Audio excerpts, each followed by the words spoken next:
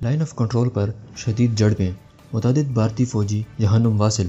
پاک فوج نے پانڈو سیکٹر پر بھارتی فوج کی جانب سے بھاری ہتھیار پہنچانے کی کوشش ناکام بنا دی۔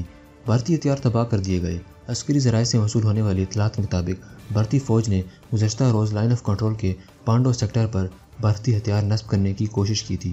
بھارتی فوج کی جانب سے لائن آف کنٹرول پر مزید بلندی پر بھارتی ہتھیار نصب کرنے کی کوشش کی جا رہی تھی تاکہ پاک فوج اور شہری آبادی کو بآسانی نشانہ بنایا جا سکے۔ تاہم، پاک فوج نے بھرپور کارروائی کرتے ہوئے بھارتی فوج کی کوششوں کو ناکام بنا دیا ہے۔ پاک فوج کی جانب سے بھارتی فوج کو بھرپور انداز میں نشانہ بنایا گیا ہے، جس کے باعث بھارتی ہتھیار بھی مکمل طور پر تباہ ہو گئے۔